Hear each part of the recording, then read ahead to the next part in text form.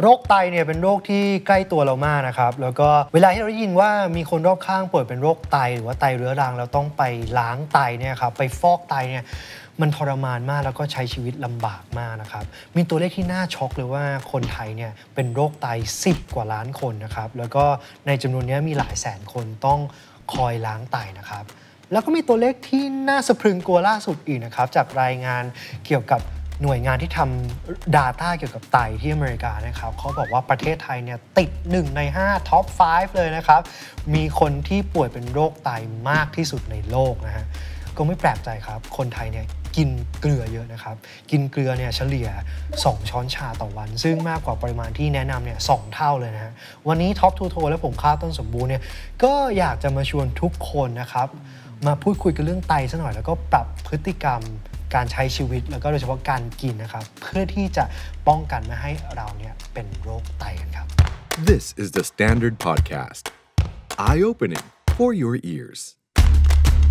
Top to toe podcast สุขภาพที่ใช้วิทยาศาสตร์ ไขปัญหาตั้งแต่หัวจดเท้า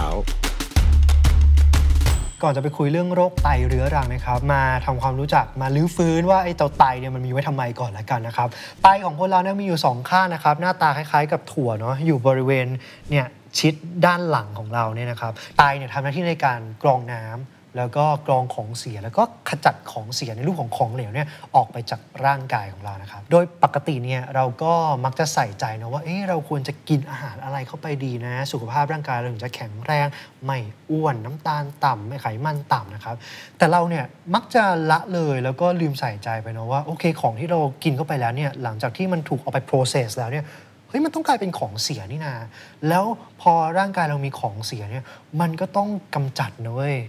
เพราะฉะนั้นหน่วยงานหรือว่าอวัยวะทีมงานที่ต้องกำจัดของเสียนะก็เป็นอวัยวะที่มีค่าที่เราควรจะใส่ใจมากเช่นกันนะครับทีนี้ไตเนี่ยแน่นอนมันทำงานทุกวันทุกวันนะครับถ้าเกิดว่าไตเนี่ยมันต้องทำงานหนักมากเกินไปเนี่ยแน่นอนมันก็จะเสื่อมได้เร็วนะครับแล้วก็เป็นภาวะไตเรื้อรังได้นะครับทีนี้ไตเรื้อรังเนี่ยมันคืออะไรนะครับ มันคือภาวะที่ไตของเราเนี่ยนะครับทำงานได้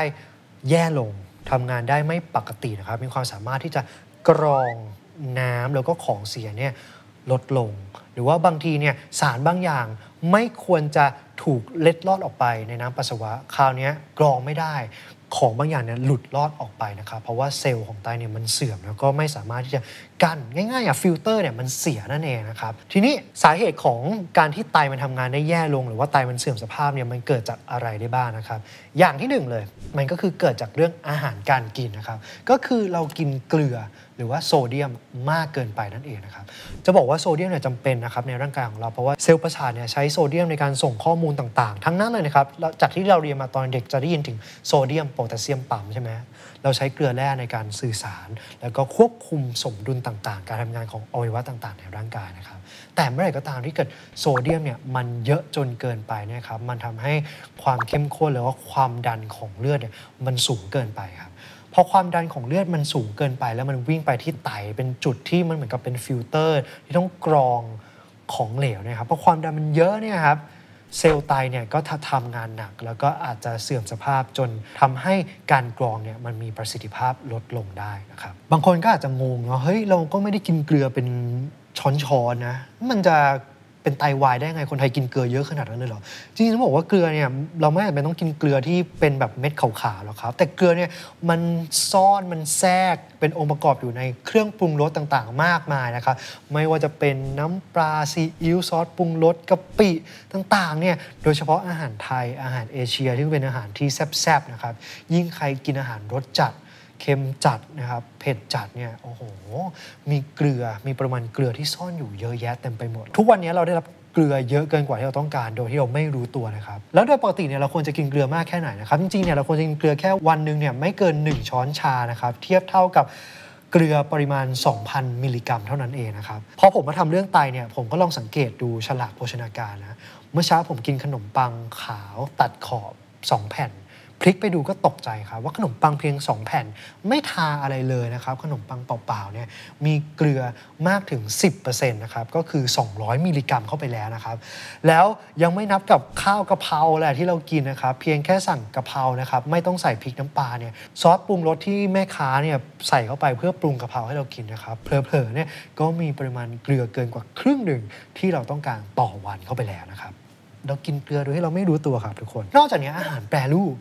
อาหารกึ่งสำเร็จรูป อาหารสำเร็จรูปหรืออาหารแช่แข็งที่ซื้อมาแล้วก็อุ่นกินนะครับ อาหารเหล่านี้มีเกลืออยู่เยอะมากเลยครับ เพราะว่าเกลือเนี่ยนอกจากจะช่วยให้รสชาติมันเข้มข้นแล้วนะครับยังช่วยยืดอายุในการเก็บผลิตภัณฑ์เหล่านี้ด้วยนะครับ มันก็จะไม่เสียยาก เพราะฉะนั้นผู้ผลิตเนี่ยเขาก็มักจะใส่พวกโซเดียมเข้าไปในอาหารเหล่านี้ค่อนข้างเยอะนะครับ ยิ่งใครกินอาหารกึ่งสำเร็จรูปเยอะๆเนี่ยคุณได้รับเกลือเข้าไปเต็มๆเลยละครับ อาหารสะดวกกึ่งสำเร็จรูปไม่ว่าจะเป็น ไส้กรอกเนี่ยครับแค่เวฟก็กินได้ หรือว่าเป็นโจ๊กซองนะครับเทปุ๊บใส่น้ำแล้วก็กินได้นะครับ หรือแม้กระทั่งอาหารที่เป็นอาหารกล่องเพียงแค่เข้าไมโครเวฟแล้วก็กินได้เลยเป็น quick meal ready meal นะครับเหล่านี้นะฮะมีโซเดียมเยอะเกินกว่าที่เราจะจินตนาการได้นะครับทุกคนกินอาหารเหล่านี้บ่อยๆ รับรองครับ ได้เกลือไปเกินความจำเป็นแล้วมีโอกาสไตวายครับ นอกจากการกินเกลือที่เยอะเกินไปนะครับ มีอีกหนึ่งสาเหตุครับ คือการกินน้ำตาลที่เยอะจนเกินไปครับทุกคนก็สามารถทำให้เกิดไตวายได้ถามว่าทำไมครับ คนที่กินน้ำตาลเยอะเกินไปนะครับ แล้วก็มีภาวะที่เป็นเบาหวานเนี่ยครับก็คือเลือดมีน้ำตาลเยอะมีความดันเลือดเยอะฮะพอน้ำตาลอยู่ในเลือดเยอะเนี่ยครับแล้วไปหล่อเลี้ยงไตเนี่ยครับก็จะทำให้เซลล์ของไตเนี่ยมันเสื่อมได้ง่าย น้ำตาลที่เยอะนะครับนอกจากจะทำให้เซลล์ไตเสื่อมนะครับยังทำให้เซลล์ประสาท ที่ไปควบคุมการทำงานของไตนะครับเสื่อมตามไปด้วยครับซึ่งจริงเนี่ยไอ้ภาวะเซลล์เสื่อม แล้วก็เซลล์ประสาทเสื่อมนะครับไม่ได้เกิดแค่เฉพาะไตนะครับ แต่ทุกๆ อวัยวะในร่างกายเลยนะครับ ทุกคน เพราะว่าอวัยวะทั้งหมดในร่างกายเนี่ยจะมีเส้นเลือดไปหล่อเลี้ยงถูกไหมเพราะฉะนั้นถ้าเกิดว่าเลือดมีน้ำตาลเยอะก็จะทำให้เซลล์ต่างๆ เอาไว้ต่างๆเนี่ยมันเสื่อมได้ง่ายขึ้น เพราะฉะนั้นการที่ ใครที่เป็นเบาหวานกินน้ำตาลเยอะๆนะครับก็ทำให้ไตวายเร็วได้เช่นกันนะครับสาเหตุอื่นๆ ที่ทำให้เกิดไตวายก็จะมีพันธุกรรมนะครับ อันนี้เป็นแต้มบุญของแต่ละคนนะถ้าเกิดว่าใครมีครอบครัวมีประวัติเป็นไตอักเสบไตวายนะครับหรือมีนิ่วในไตง่ายนี่นะครับ ก็มีโอกาสที่เราจะมีภาวะไตวายได้มากกว่าคนอื่นนะครับ ความเครียดการใช้ชีวิตที่ไม่เฮลตี้การสูบบุหรี่นยนะครับ หรือการกินเหล้าเนี่ยครับ ก็สามารถทำให้ไตวายได้ง่ายเช่นกัน คนที่ กินยาเยอะๆนะครับ ก็ไม่ใช่ว่าตับพังอย่างเดียว แต่ไตก็พังได้เช่นกันนะครับ เพราะว่าหลังจากที่เรากินยาแล้วนะครับ ยาก็ต้องถูกเบรกดาวให้เป็นโมเลกุลจิ๋วๆนะครับ ซึ่งมันก็จะถูกกรองที่ไตนะครับ ยิ่งมีเยอะๆไตก็จะทำงาน หนักเช่นกันครับ การกินโปรตีนเยอะๆเนี่ยครับก็ทำให้ไตวายได้ง่ายเช่นกันนะครับ เพราะว่าหลังจากย่อยโปรตีนแล้วนะครับย่อยโปรตีนก็จะมีพวกตระกูลแอมโมเนียนะครับก็จะทำให้ไตทำงานหนักนะครับเพราะฉะนั้นใครที่เป็นโรคไตเนี่ยถึงมีคำแนะนำว่าควรจะลดการกินเนื้อสัตว์ลงนะครับเพื่อที่จะลดการทำงานของไตครับทั้งหมดทั้งมวลที่เล่ามาเป็นสาเหตุที่ทำให้ไตทำงานหนักกว่าปกติ จนทำให้ไตเสื่อมสภาพแล้วก็ไตวายได้นะครับ ทุกคนอะ แล้วมีสัญญาณอะไรอะที่บ่งบอกว่าเราจะเป็นโรคไตหรือเปล่าอย่างแรกนะครับ คือ ถ้าใครที่มีอาการปวดหัวตึบๆบริเวณขมับบ่อยๆนะครับแบบไม่มีสาเหตุ อันนั้นอาจจะเป็นสัญญาณบอกเหตุได้ว่าเราจะเป็นโรคไตนะครับ และสัญญาณที่จะค่อนข้างชัดว่าเราอาจจะเป็นโรคไตคือดูจากปัสสาวะฮะ โดยปกติปัสสาวะของเราเนี่ยจะใสนะครับแล้วก็จะมีสีที่แตกต่างกันตามปริมาณน้ำที่กินนะครับก็คือจากใสๆจนเหลืองเข้มไปเรื่อยๆนะครับตามว่าเราดื่มน้ำเยอะหรือน้อยนะครับแต่เมื่อไหร่ก็ตามที่ไตของเรามีปัญหาเนี่ยครับไตของเราเนี่ยจะขุ่นแล้วก็มีสีที่เป็นเขาเรียกว่าสีน้ำล้างเนื้อนะครับคือสีที่ออกไปทางส้มๆ แดงๆนะครับ ก็คืออาจจะมีสารบางอย่างที่ไม่ควรจะอยู่ในปัสสาวะมันเล็ดลอดออกมาได้ เพราะว่า การกรองของไตมีปัญหานะครับ โดยปกติแล้วนะครับในปัสสาวะของเราเนี่ยไม่ควรจะมีน้ำตาล ไม่ควรจะมีโปรตีน ไม่ควรจะมีคีโตน ไม่ควรจะมีบิลิรูบิน ซึ่งมันคือสารที่เกิดจากการที่เม็ดเลือดแดงเนี่ยถูกทำลายนะครับ ไม่ควรจะมีเม็ดเลือดแดง ไม่ควรจะมีเม็ดเลือดขาว เมื่อไหร่ก็ตามที่เราตรวจปัสสาวะของเราแล้ว คุณหมอเนี่ยเจอไอ้เจ้าสารเหล่านี้ที่ว่ามาใน น้ำปัสสาวะนะครับก็เป็นการบอกเหตุแล้วว่าไตมีปัญหาแน่ๆการกรองมันเริ่มมีปัญหาสิ่งเหล่านี้ถึงเล็ดลอดออกมานะครับเพราะฉะนั้นสารบางอย่างเหล่านี้มันทำให้เกิดสีที่เป็นแนวสีส้มสีแดงนะครับเพราะฉะนั้นเมื่อไหร่ก็ตามที่ฉี่เราหรือปัสสาวะเราขุ่นเนี่ยก็เป็นการบอกได้นะครับว่าเฮ้ยไตมีปัญหาแล้วแหละฉี่มีฟองเนี่ยก็บ่งบอกว่า อาจจะมีโปรตีนบางอย่าง หรือว่าโปรตีนไข่ขาวนะครับหลุดรอดออกมาในน้ำปัสสาวะนะครับ ก็เป็นสัญญาณว่าไตมีปัญหาได้เช่นกัน เพราะฉะนั้นเวลาที่เราเข้าห้องน้ำเนี่ยก็สังเกตดูสีปัสสาวะของเราด้วยนะครับ ทุกคน ทีนี้ คนทั่วไปที่เรายังไม่โดนวินิจฉัยว่าเราเป็นโรคไตว่าไตยังทำงานได้โอเคอยู่เนี่ยจะใช้ชีวิตยังไงอะที่จะถนอมไตของเราให้ได้มากที่สุดนะครับ อย่างแรกเลยนะครับก็คือต้องดูแลเรื่องอาหารการกินครับ คือต้องลดทั้งน้ำตาล แล้วก็ลดทั้งเกลือครับทุกคน อย่างที่บอกไปตั้งแต่ตอนต้นนะครับ ว่าเกลือกับน้ำตาลเนี่ยเป็นต้นเหตุหลักเลยที่ทำให้ไตของเราเนี่ยทำงานได้แย่ลงนะครับ เพราะฉะนั้นใครก็ตามที่กินอาหารรสจัดไม่ว่าจะเป็นหวานจัด เค็มจัด หรือแม้กระทั่งเผ็ดจัดนี้นะครับ ควรจะเบาๆลงบ้างนะครับ จากที่เราโหปรุงอาหารเข้มข้นเนี่ยลองเปลี่ยนบ้างลองลด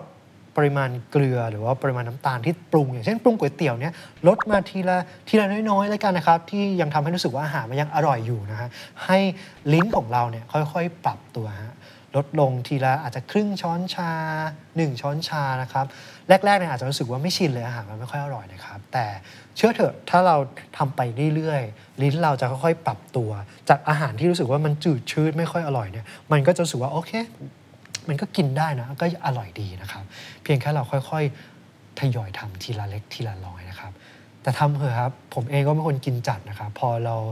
รีเสิร์ชเกี่ยวกับเรื่องไตเยอะขึ้นเรื่อยๆเนี่ยก็รู้สึกว่าเฮ้ยไม่ได้แล้วปล่อยไปไม่ได้แล้ว ตอนนี้เรายังเป็นวัยที่ไตมันยังพอจะทำงานได้ดีอยู่ แต่ถ้าเราปล่อยไปนะครับแป๊บหนึ่งพอไตมันพังเนี่ยพังแล้วพังเลย แล้วการฟอกไตไม่ใช่เรื่องดี ไม่ใช่เรื่องสนุกเลยในชีวิตนะครับ และ recommendation นะครับ คือเราควรจะกินเกลือไม่เกิน 1 ช้อนชาต่อวัน แล้วกินน้ำตาลไม่ควรจะเกิน 6 ช้อนชาต่อวันนะครับทุกคน เพราะฉะนั้นใครที่ชอบกินน้ำหวานๆเนี่ย เลี่ยงได้เลี่ยงนะครับ นอกจากนี้นะครับควรจะเลือกกินอาหารที่ปรุงสดใหม่ แทนที่เป็นอาหารสำเร็จรูปนะครับอาหารที่เป็นซองอาหารเป็นกล่องที่เติมน้ำร้อนหรือว่าเข้าเวฟแล้วก็กินได้เลยเนี่ยเลี่ยงได้เลี่ยงอาหารพวกนั้นนะครับเพราะว่าคุณจะได้รับโซเดียมแล้วก็น้ำตาลที่มันเกินความจำเป็นนั่นเองครับวิธีที่สองนะครับที่จะช่วยถนอมไตนะครับคือการดื่มน้ำให้เพียงพอตั้งเป้าเลยครับว่าวันหนึ่งเนี่ยควรจะดื่มน้ำให้ได้อย่างน้อย 8 แก้วหรือประมาณ 2 ลิตร เป็นอย่างน้อยนะครับ ถามว่าทำไมฮะการกินน้ำเยอะๆนะครับทำให้ความเข้มข้นของเลือดของเราเนี่ยมันเจือจางนะครับ ไม่เข้มข้นจนเกินไป แล้วก็ทำให้ความดันไม่สูงจนเกินไปนะครับ อย่างที่บอกว่าความดันสูงนะครับที่พูดมากับเบาหวานอย่างเงี้ยมันเป็นต้นเหตุสำคัญที่ทำให้ไตเสื่อมเร็ว เพราะว่าการกรองน้ำของไตเนี่ยอาศัยเรื่องความดันของเลือดเป็นหลักนะครับเป็นตัวช่วยในการกรองเนาะจินตนาการเหมือนเรามีกระดาษกรองเงี้ยเราก็ต้อง ฉีดน้ำอัดน้ำเข้าไปผ่านกระดาษกรองนะครับ เพื่อให้น้ำเนี่ยมันผ่านไอ้รูเล็กๆนะครับแล้วอะไรที่มันใหญ่กว่ารูเนี่ยมันก็ถูกกักเก็บเอาไว้นะครับ เฉพาะของเหลวที่เป็นปัสสาวะเนี่ยก็จะผ่านเนื้อไตออกมาออกมา สู่เป็นปัสสาวะของเรานะครับเพราะถ้าเกิดความดันมันสูงเกินไปอะแรงกระแทกอะที่ไปชนเซลล์ไตเนื้อไตกระแทกบ่อยๆ เยอะเกินไป มันก็ทำให้เซลล์ไตเนะครับมันเสื่อมแล้วมันก็เสียหายได้นะครับ นอกจากนี้การที่เรากินน้ำเข้าไปเยอะๆนะครับทำให้เกลือแร่มันไม่เยอะจนเกินไปนะครับ ลดโอกาสที่เกลือแร่นะครับ มันจะรวมเข้าด้วยกันเป็นผลึก นะครับหรือที่เรียกว่าทำให้เกิดนิ่วในไตได้นั่นเองนะครับเมื่อไหร่ก็ตามที่มีเกลือแร่เยอะๆ แล้วมันรวมกันเป็นก้อนผลึกเนี่ยครับแล้วเป็นนิ่วเนี่ยครับก็จะทำให้เกิดทั้งแรงดันมากขึ้นแล้วก็ทำลายไตให้ไตเนี่ยเสื่อมสภาพได้เร็วมากยิ่งขึ้นนะฮะอ้อผมลืมบอกไปนะครับ ถ้าเกิดว่าใครที่ปัสสาวะแล้วรู้สึก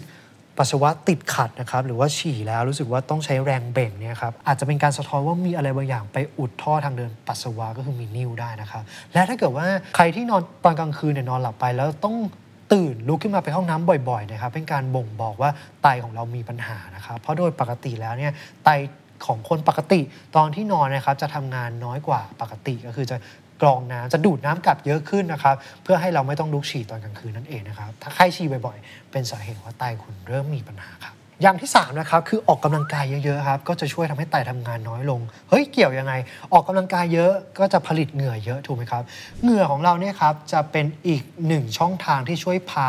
เกลือแร่ออกไปจากร่างกาย เป็นวิธีในการกำจัดเกลือแร่ส่วนเกินนะครับ ถ้าเกลือแร่ถูกกำจัดทางเหงื่อเยอะๆเนี่ยนะครับ ไตก็จะทำงานน้อยลงในการกำจัดเกลือแร่นั่นเองนะครับ เพราะฉะนั้นการออกกำลังกายอย่างสม่ำเสมออะไรก็ได้ครับ เลือกกิจกรรมที่คุณชอบที่ทำให้มีการเสียเหงื่อนะครับ ก็จะช่วยไตแล้วละครับอย่างอย่างที่ 4 นะครับ มีงานวิจัยเจอว่าการกินองุ่นหรือว่าแครนเบอร์รี่นะครับสามารถจะช่วยชะลอไตเสื่อมได้นะครับ เพราะว่าใน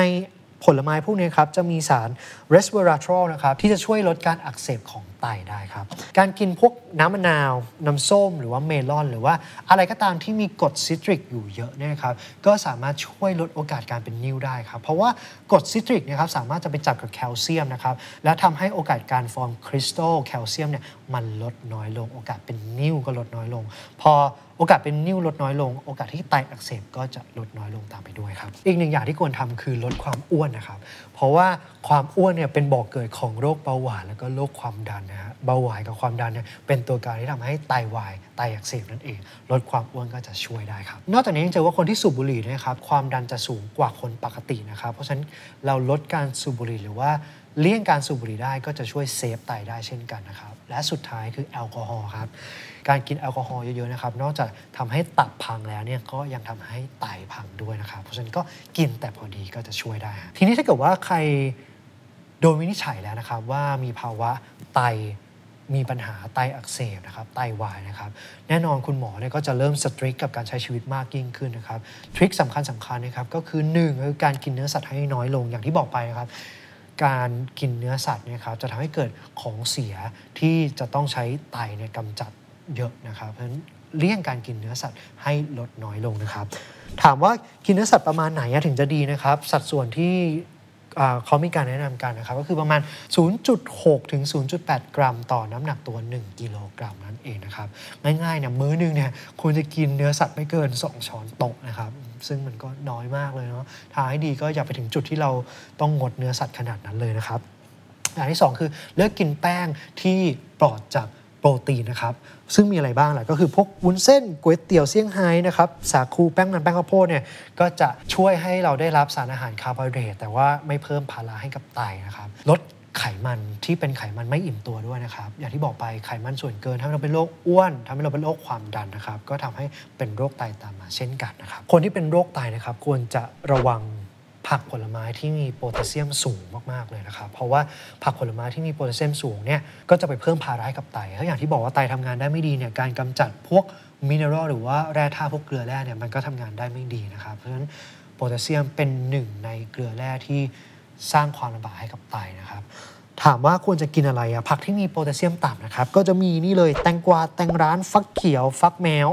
บวบมะระมะเขือยาวมะละกอดิบหอมหัวใหญ่กะหล่ำปลีนะครับผักกาดแก้วผักกาดหอมพริกหวานพริกหยวกกินผักอะดีแล้วครับกินผักเข้าไปเถอะผักดิบนะครับกินผักดิบมื้อละหนึ่งถ้วยตวงหรือว่าผักสุกมื้อละสองถ้วยตวงเนี่ยก็จะช่วยนอกจากจะเพิ่มไฟเบอร์ แล้วก็ช่วยทำให้ไตทำงานดีขึ้นนะครับผลไม้ที่ควรระวังนะครับก็ มะละกอกล้วยส้มครับมีโพแทสเซียมเยอะนะครับยังไงก็ลองไปเช็คดูนะว่าผลไม้ที่เราชอบกินมันมีโพแทสเซียมเยอะหรือเปล่า ถ้ามีก็ควรจะหลีกเลี่ยงนั่นเองครับ อย่างสุดท้ายครับควรจะดื่มน้ำแต่พอดีนะครับ ไม่ใช่ว่าโอเป็นโรคไตแล้วควรจะดื่มน้ำเข้าไปเยอะดื่มน้ำเยอะมากไปก็ไม่ดีนะครับ เพราะว่าคนที่เป็นโรคไตคือไตอะสามารถที่จะกรองน้ำได้ไม่ดี มีประสิทธิภาพลดน้อยลงนั่นเองนะครับ จริงๆ แล้วคุณหมอมักจะแนะนำให้คนที่เป็นโรคไตเนี่ยลองชั่งตวงปัสสาวะ ที่ออกมาดูนะครับว่าวันวันๆหนึ่งเนี่ยเราปัสสาวะออกมาปริมาตรเท่าไหร่นะครับ สมมุติว่า ปัสสาวะออกมาได้วันละประมาณ 1 ลิตรนะครับก็เอาไปบวกกับตัวเลขอีกสักประมาณครึ่งลิตร ก็คือการสูญเสียน้ำทางอื่นของร่างกายไม่ว่าจะเป็นเหงื่อหรือไงนะครับแล้วพอเอาตัวเลขมารวมกันนะครับก็คือมันคือปริมาณน้ำที่เราควรจะกินเข้าไปต่อวันนั่นเองสำหรับคนที่มีภาวะไตทำงานได้แย่ลงนะครับ และที่สำคัญเลยเลี่ยงอาหาร processed food ทุกชนิดครับ เพราะว่าอาหารเหล่านี้นะครับ เป็นภัยอันตรายกับไตอย่างมากครับ อย่างที่บอกไปนะครับว่าไตคืออวัยวะที่คนเรามักจะมองข้ามนะครับ แต่ว่า เรายังไม่สายเกินไปที่จะดูแลไต เริ่มตั้งแต่วันนี้ครับ ผมอยากจะเชิญชวนทุกคนเลยนะครับ ให้มาทำ renal detox หรือว่า detox ไตสักอาทิตย์ละหนึ่งวันนะครับ ถามว่าทำยังไงครับ คือการเลือกอาหารที่เป็นอาหารคลีนนะครับ ก็คืออาหารที่ รสไม่จัดปรุงน้อยๆนะครับเป็นอาหารที่ปรุงสดใหม่ ไม่ใช่อาหาร processed food หรือว่า ready to eat quick meal ต่างๆเนี่ยเลี่ยงเลยครับ สักหนึ่งวันต่ออาทิตย์นะครับทำให้ไตได้ทำงานสบายใจทำงานน้อยลงหน่อยก็จะดีนะครับ แล้วก็กินน้ำเยอะๆครับ ทุกคนกินน้ำให้เพียงพอ กินเข้าไปเหอะนะครับ2ลิตร 3 ลิตร ก็จะช่วยทำให้ไตเนี่ยทำงานได้ดีมากยิ่งขึ้นนะครับ ลองทำดู การดีท็อกไตเรื่อยๆนะครับจะช่วยยืดอายุให้ไตของเราเนี่ยแก่ช้าลงแล้วก็ทำงานได้มีประสิทธิภาพนานที่สุดเท่าที่จะเป็นไปได้ Top to toe The Standard Podcast. Eye opening for your ears.